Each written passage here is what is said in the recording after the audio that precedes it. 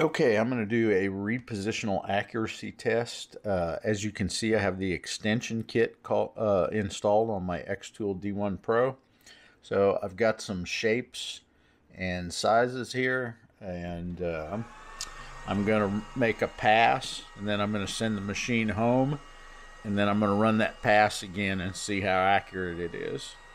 So actually, I'm going to kick this board over just a little bit because I have a line right in the middle.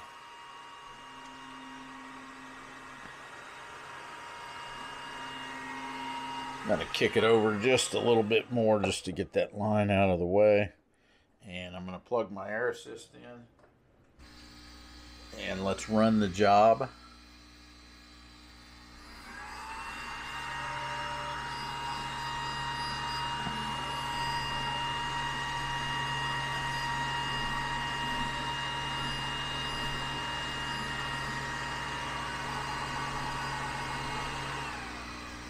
All right, let's send the machine home.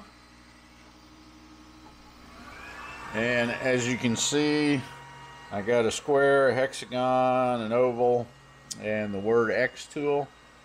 So now that the machine's home, let's run start again and see if it lands in the same place or whether I've got double lines. This is very important for a laser to be able to have good repositional accuracy. So we're getting close. Let's take a look. And obviously I, I chose the front of the machine because the machine has the most distance to travel.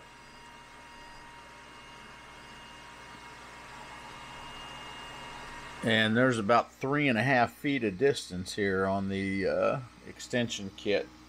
So let me unplug my air assist.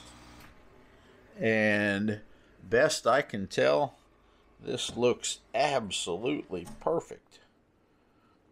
I've got a really good, I can't see in my own thing here. I got a really good square, good hexagon, a good circle tool. xTool. I see no evidence whatsoever of any doubling. So this machine passes my repositional accuracy test with flying colors.